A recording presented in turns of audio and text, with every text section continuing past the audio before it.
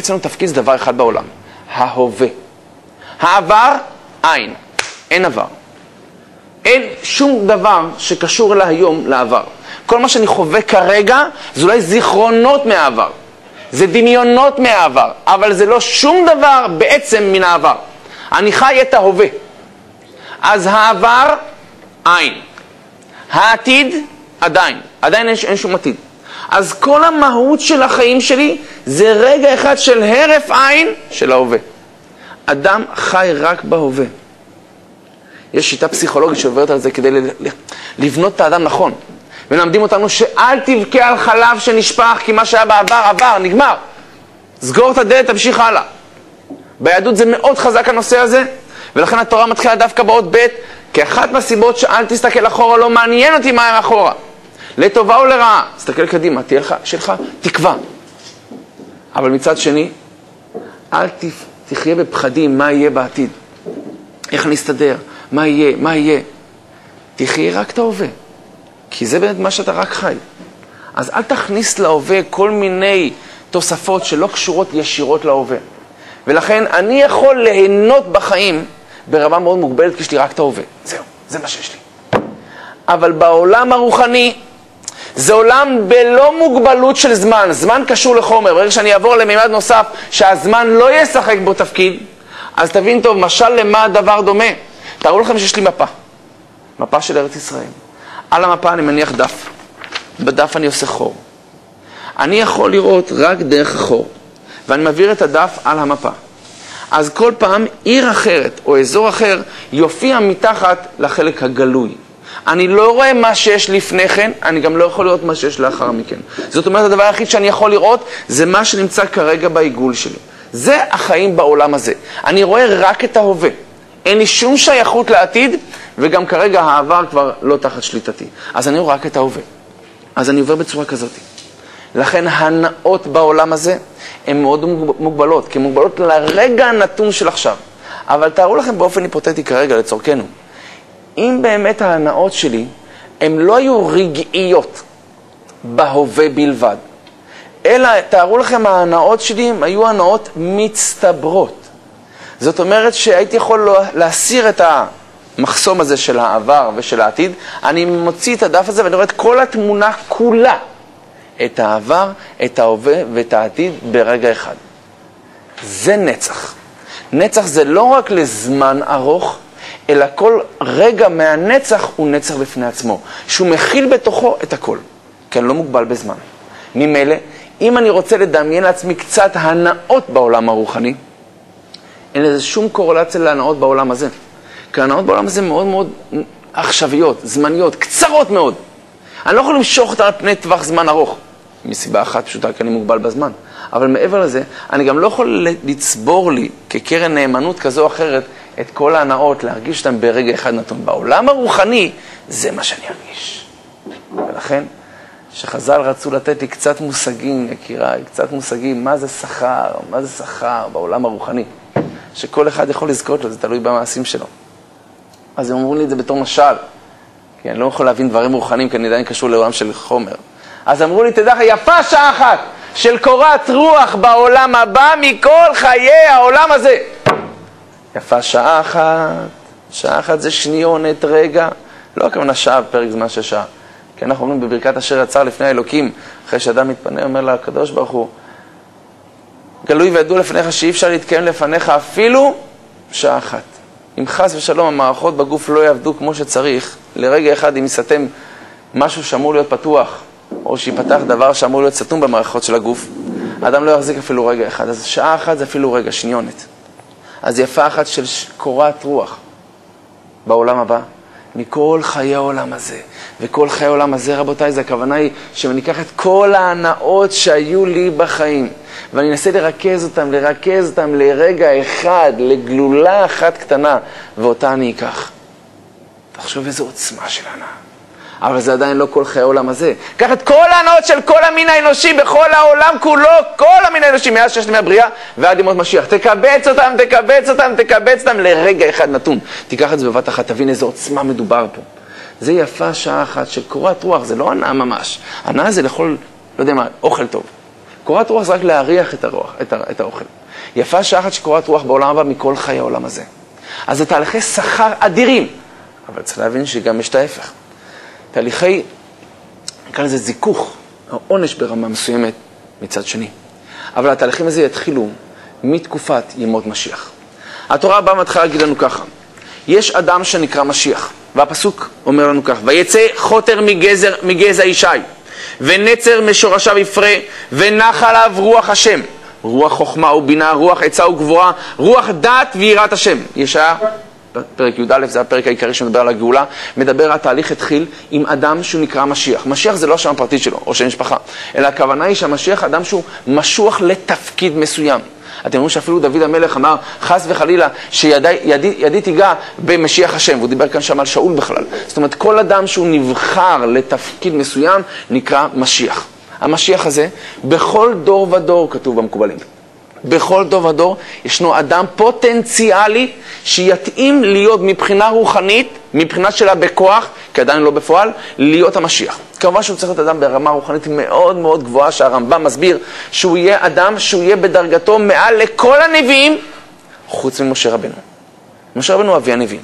יש, רוצים להגיד שאולי בדברים מסוימים גם יעלה על משה רבנו, אבל הוא בדרגת נבואה כזאת, שהוא עוקף את כל הנביאים, ישעיהו, ירמיהו, אליהו וכן הלאה, חוץ מדרגת משה רבנו. עכשיו תבינו שנביא, על פי הרמב"ם, זה דבר שאנחנו לא, לא יכולים בכלל לתאר, כי זה אדם שמתגבר על יצרו על, בכל דבר בעולם. זאת אומרת, הוא מתגבר על היצר שלו, ואין היצר מפיל אותו בשום דבר שבעולם. זאת אומרת, זה אדם שאף פעם לא יכעס סתם.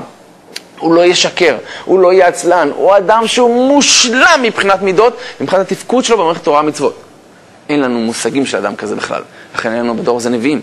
אבל האדם הזה שנקרא משיח, יהיה לו את הפוטנציאל להגיע לזה.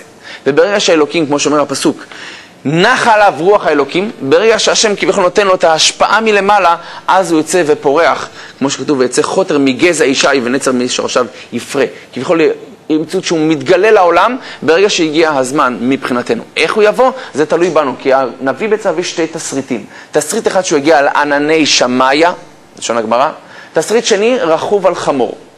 אז תחליט, אומרת הגמרא. או שהוא יבוא, נקרא לזה ענני שמאיה, שאני עוד לא יודע מה זה, אבל תכף נסביר, או שיבוא דרך ענני שמאיה, או שיבוא רכוב על חמור. אומרת הגמרא, זה לא מה שנקרא שני התסריטים יקרו במקביל. זה או זה או זה. אם עם ישראל יזכה אז הוא יגיע רכובה לענייני שמאי. הכוונה היא שהוא יחולל כאלה ניסים, שאתה לבד תבין, זה המשיח. מכיוון שלהגיע לאמונה, אם זה באלוקים, או אם זה באדם מסוים, יש שם שתי מערכות. יש מערכות של שכל, יש מערכות של רגש. טבע, אני מהטבע יכול להגיע להבנה יש בורא לעולם. אבל זה רק דרך השכל. כי אני אתחיל לפתח כל מיני מנגונים של חשיבה, ואני רואה, יש פה דבר מסודר, חייב שהיה מישהו שיסדר אותו. אם אני מתבונן לעולם, העולם הזה מסודר, מישהו היה חייב לסדר אותו. א', ב', בלוגיקה פשוטה, וממילא כיוון שהחוק השני של הטרמודינמיקה ששואף העולם לאי סדר, מגבה אותנו, שלא ייתכן שיהיה סדר בלי מסדר, ככה שהלוגיקה של השכל מביאה אותי למושג, יש טבע, חייב שיהיה מישהו שיתבע אותו. יש חוק, חייב שיהיה מישהו שיחוקק אותו. אבל זה שכל. השכל לא יתפקד אם הלב לא ירצה להבין. נס זה להבין את המערכות הללו בצורה של רגש. כאשר אני רואה נס, אין לי הסבר. כי לטבע אני יכול לנסות לתרץ כל מיני תירוצים כאלה ואחרים. כאשר אני רואה נס ברמה גדולה, אין לי הסבר, הלב מתרגש, המום, נפעם. עכשיו הלב מרגיש, יש פה משהו מעבר להבנה שלי. אבל ברגע שהרגש הזה ילך, זה לא יחזיק מעמד. לכן הרבה פעמים אומרים, מי שהתקרב ליהדות קרה לו משהו. אה, קרה לו איזה נס והוא ניצל, או נפטר לו מישהו והוא התחזק, לא אכפת לי מה. זה נכון ולא נכון. זה נכון במידה מסוימת שזה אולי יעורר אותו לבדוק. זה אולי יזרע בו את הזרע של הרצון לחקור, הרצון לבדוק, כי הוא התרגש מדבר מסוים, לא אכפת לי מה, נס מצד אחד או חס ושלום דבר לא טוב מצד שני. קרה לו משהו שזעזע אותו והרגש התחיל אצלו לעבוד. אבל זה לא יחזיק מעמד כי הרגש הוא חולף, רגש הוא זמני. מה שכן יכול להחזיק מעמד זה שכל.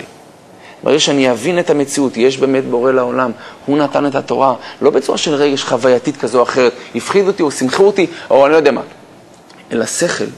פה זה דבר שיהיה קבוע. לכן דעת זה החיבור בין השכל לרגש. דעת בכלל זה חיבור. אנחנו נראה שבימות משיח תרבה הדעת בישראל. ואז ממילא דעת הכוונה היא שזה יהיה חיבור של שני הממדים, גם ניסים מצד אחד, גם שכל מצד שני. רק ככה יהיה דבר שקבוע לאורך זמן. אבל ממילא, אחת האפשרויות שהמשיח מגיע על ידי ניסים, אפשרות שנייה, שהוא מגיע במידה ולא נזכה, רכוב על חמור. זאת אומרת, רכוב על חמור בצורה שהוא יצטרך להוכיח את עצמו.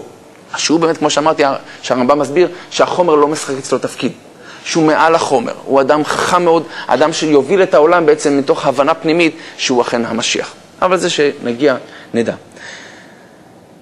צריך לדעת דבר אחד, הסיבה שהוא מגיע זה להכין אותנו לאותם עולמות שכר שדיברנו עליהם. והם אלה התהליכים שיקרו במות משיח. אני אקח לכם אולי קצת, המקורות העיקריים, כמובן זה הנביאים השונים, אם זה ישעיה, אם זה יחזקאל. מעבר לזה יש לנו את הגמרות, שתי גמרות עיקריות, הגמרא מסכת כתובות, דף קי"א עמוד ב', שמדברת על תנאי השטח הסביבתיים, מה הולך להתרחש. הגמרא מסכת סנדרין, דף צדיק ב' עמוד ב', וצדיק ז' וצדיק ח'. אלו המקורות הגמרתיים, התלמודיים, שמתארים את כל התקופה של ימות משיח. למעשה, בין העולם שלנו לעולם של ימות משיח יש רק שיעבוד גלויות, שיעבוד מלכויות, זה נקרא בלשון הגמרא מסכת ברכות. מה הכוונה? העולם לא ישתנה. בימות משיח לא יהיה עולם חדש. יהיה אותם, אותו עולם, אבל בדרגה רוחנית מצד אחד ופיזית מצד שני. אחרת לגמרי. כי כל העולם שאנחנו רואים פה, זו תוצאה בעצם לארצנו הרב במצבות, הידרדרות רוחנית שהעם היהודי עבר במהלך השנים. אבל בימות משיח התוצאה תהיה אחרת. כמה אירועים ספציפיים כי מלאה הארץ דעה את השם קיים למים מכסים. כמו שאמרתי, הדעה תרבה.